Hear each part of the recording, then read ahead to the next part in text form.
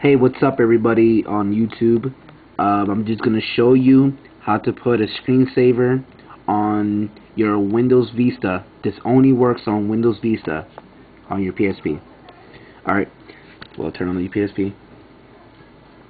Okay, as you can see I'm on MySpace.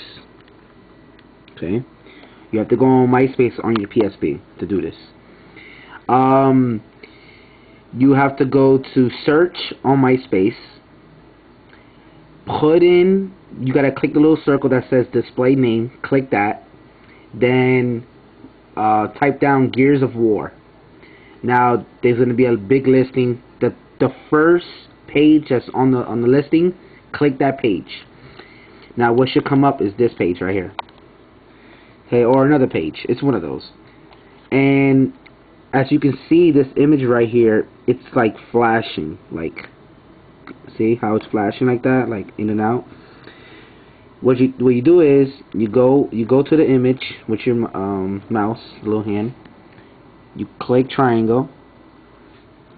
You go down to your your little folder thing at the end right here. You hit it. You go to um, save image okay? It's gonna ask you yes. Would you like to save? You're gonna say yes okay it's gonna save it's gonna say complete okay? I already have it saved so I'm not gonna do it again. So you do that you go back right to your main dashboard where it says pictures.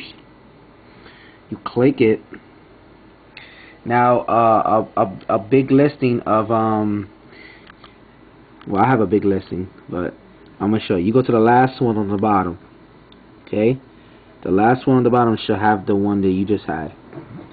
See? See it's not moving here.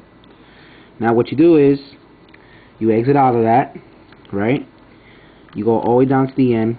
You go back to Internet Explorer. Okay it's going.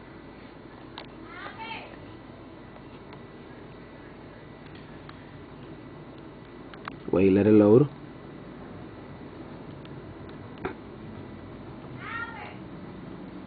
you hit this. You go down to settings. Where's the settings? Right there. You hit it.